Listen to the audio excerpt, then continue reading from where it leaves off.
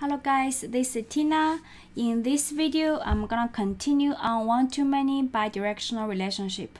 And uh, sometimes uh, by default, when we're using one-to-many bidirectional relationship, it's gonna using join column. Okay, but sometimes we want to using join table. How to do that? Very, very easy. If you already know many to one how to use many to one uh, do the uh, join table. So I have the thing already set up like uh, from the last uh, video. This one-to-many have a mapped by to solve the two unidirectional issue and uh, then Hibernate gonna using many to one to create the join table for us, right? In this case, we have to by default is a join column okay? By default is join column. So if you want using join table how to do that? Force it to using join table.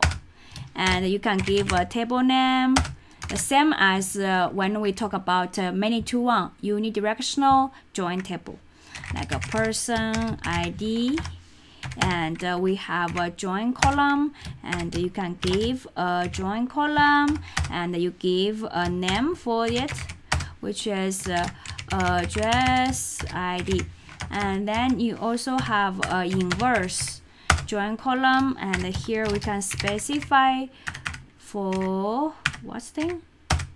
We can specify for person id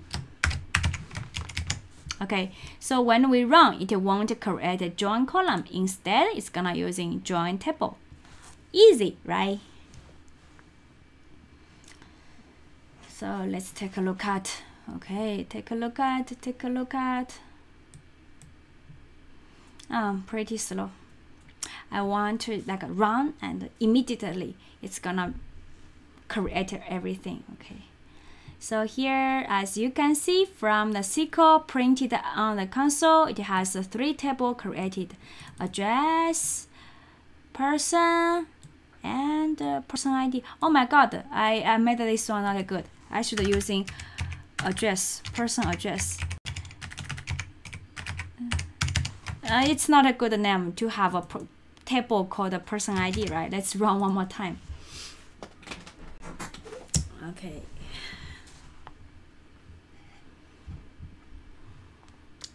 A little bit hot here.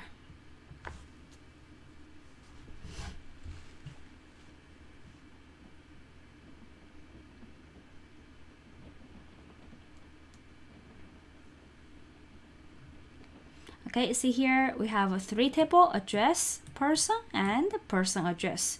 And a person address is a join table, has two column, person ID and uh, address ID. Okay, see, let's take a look at this one here? Oh sorry not here. This one. And I refresh here.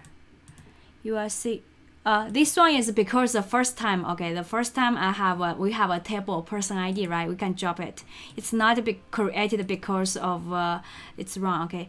We have address and we have a person okay? Oh sorry I correct click the wrong one okay? We have address ID street zip code and I have a person person ID first name last name and we have a join table person ID and address ID okay?